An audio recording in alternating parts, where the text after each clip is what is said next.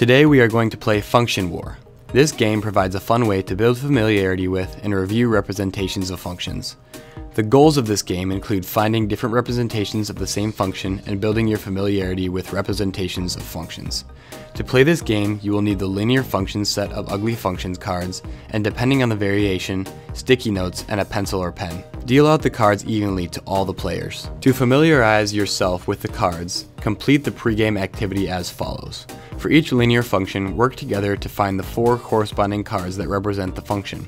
Group them together and explain how you know they match. Each linear function has four cards. There are 12 groups of four cards, each in the set. Context cards serve as wild cards in the game.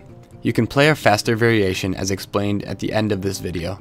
If you choose the variation, write the linear function of each context card on a sticky note and attach the sticky note to its context card. Now we can begin gameplay. This game is similar to the classic game War. On the count of three, all players flip the top card on their deck face up in the center. Each player will determine the y-intercept, x-intercept, slope, or absolute values of these values for all linear functions in play.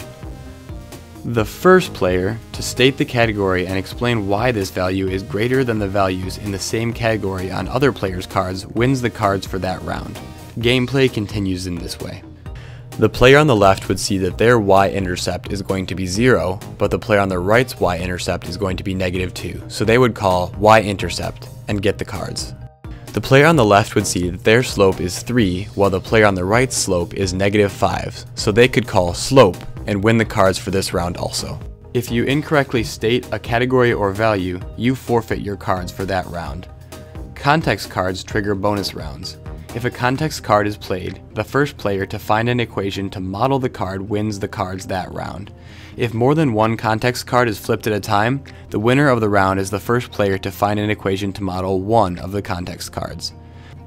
If the context card played matches any other flipped up card in play, each player must surrender one extra card to the winner of that round. If you recognize that two non-context cards represent the same function, you must call Function War after explaining why the functions are the same, you automatically win all the cards played that round. To win, a player must win all the cards in the deck through the rounds of Function War. Questions to think about during or after gameplay could be, which values are easier or harder to recognize in each representation of the function? What strategies helped you quickly find y-intercept, x-intercept, and slope of the functions? What information about a function is readily evident from each type of representation.